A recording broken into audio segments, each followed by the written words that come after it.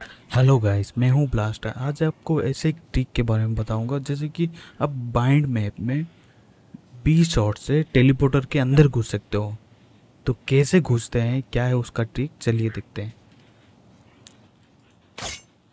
और आपको किल जो लेना है। उसके बाद बी शॉट में चले जाना है।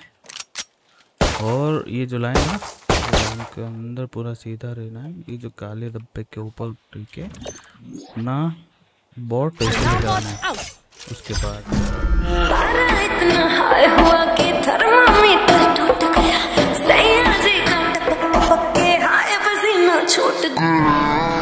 तेरे जैसे जाने कितनों के दर्शक न हुए। मेरे पीछे मर के आशिक कितने ही मशहूर with the puck.